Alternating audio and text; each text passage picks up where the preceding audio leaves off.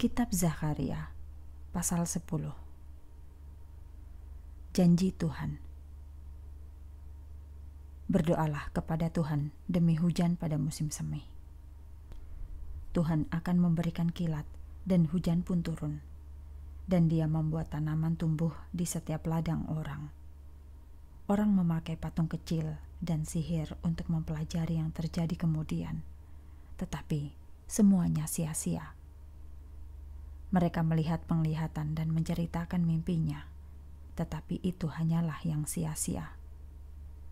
Jadi orang seperti domba yang mengembara ke sana kemari mencari pertolongan, tetapi tidak ada gembala yang memimpinnya.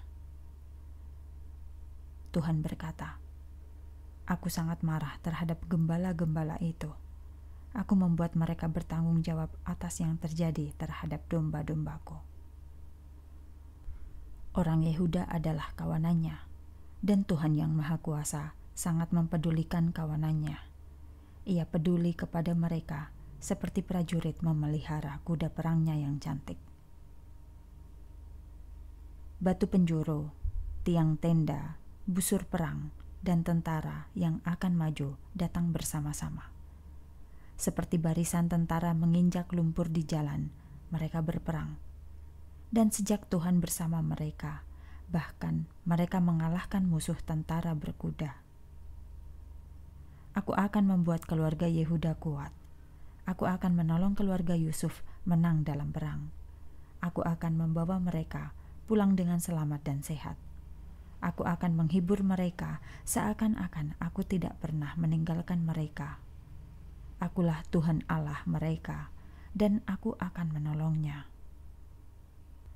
Orang-orang Efraim sebahagia tentara yang mabuk. Anak-anak mereka bersuka cita dan juga berbahagia. Mereka semua akan mempunyai waktu sukacita bersama Tuhan.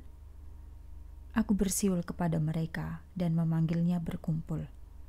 Aku sungguh-sungguh menyelamatkannya. Di sana banyak orang.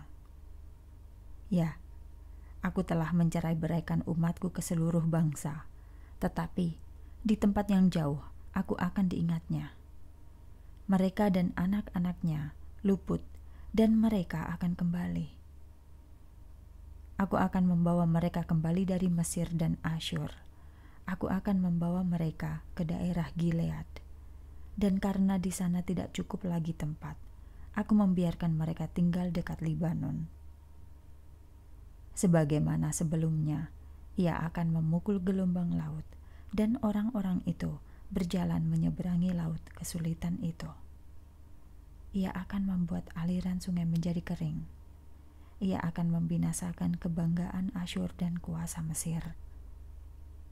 Ia akan membuat umatnya kuat di dalam Tuhan, dan mereka hidup baginya dan namanya. Demikian firman Tuhan.